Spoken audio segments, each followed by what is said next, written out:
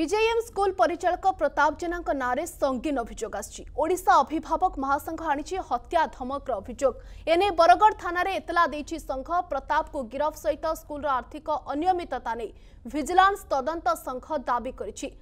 ତେବେ ହାଇକୋର୍ଟଙ୍କର ନିର୍ଦ୍ଦେଶ ସତ୍ତ୍ୱେ ମଧ୍ୟ ବିଜେଏମ୍ ସ୍କୁଲ ଫି ବୃଦ୍ଧି କରିଥିବାକୁ ବିରୋଧ କରିଛି ଅଭିଭାବକ ସଂଘ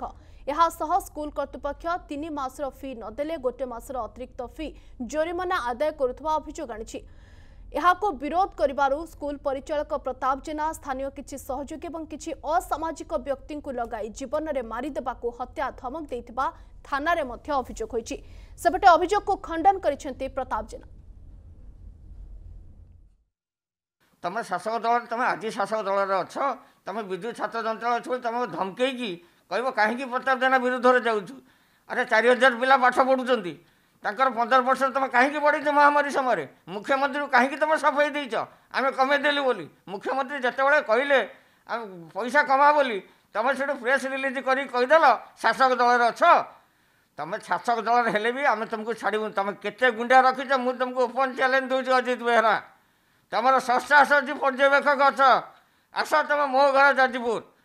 ତ ମୋ ଦୁଃଖର ବିଷୟ କହୁଛି ମୁଁ ସରକାରଙ୍କୁ କହୁଛି ଯଦି ସରକାର ଏହି ପରିପ୍ରେକ୍ଷୀରେ ମୁଁ ଅନୁରୋଧ କରୁଛି ଯେ ଏହିପରିଆ ଲୋକଙ୍କୁ ଆପଣ ଶାସକ ଦଳରେ ରଖନ୍ତୁନି ଆଉ ମୁଁ ପର୍ଟିକୁଲାରଲି ଫାଇଭ୍ ଟି ସଚିବଙ୍କୁ ରିକ୍ୱେଷ୍ଟ କରୁଛି ଯେ ଆ ଉପରେ ଟିକିଏ ଭିଜିଲାନ୍ସ ତଦନ୍ତ କରି ସବୁ ପ୍ରକାରର ସମ୍ପତ୍ତି ଯେଉଁ ଠୁଳ କରିଛନ୍ତି ଆମର ପ୍ରତାପ ବାବୁ ତାଙ୍କ ଉପରେ ଟିକିଏ ଧ୍ୟାନ ଦେଇକି ନଜର ଦେଇକି ସେ ସମ୍ପତ୍ତି ସବୁ ଜବତ କରନ୍ତୁ ଆଉ ସରକାରର ରାଜକୋଷରେ ମିଶାନ୍ତୁ ଯାହାଙ୍କୁ ଏ ବିଷୟରେ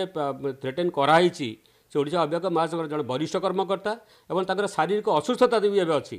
ଯେ ଦୀର୍ଘ ଦୁଇ ମାସ ତିନି ମାସ ହେଲା ଶାରୀରିକ ଅସୁସ୍ଥତା ଭିତରେ ଅଛନ୍ତି ତା ସତ୍ତ୍ୱେ ତାଙ୍କୁ ଡାକି ତାଙ୍କୁ ଫୋନ୍ ମାଧ୍ୟମରେ ଏବଂ ତାଙ୍କ ପାଖକୁ ଯାଇକି ଯେଉଁଭଳିଆ ଏ କାର୍ଯ୍ୟକ୍ରମ ଗ୍ରହଣ କରାଯାଇଛି ତଥାକଥିତ ଦଳୀୟ ଇଏ ବୋଲି କହୁଛନ୍ତି ଆମେ ତାକୁ ଦୃଢ଼ ବିରୋଧ କରୁଛୁ ଏବଂ ଦରକାର ପଡ଼ିଲେ କାଲି ମାନ୍ୟବର ମୁଖ୍ୟମନ୍ତ୍ରୀଙ୍କ ଉଦ୍ଦେଶ୍ୟରେ ଆ ବିରୁଦ୍ଧରେ ଚିଠି ପ୍ରେରଣ କରିବୁ ଯାହା ଉପରେ ଆପଣ ବିହିତ କାର୍ଯ୍ୟାନୁଷ୍ଠାନ ଗ୍ରହଣ କରନ୍ତୁ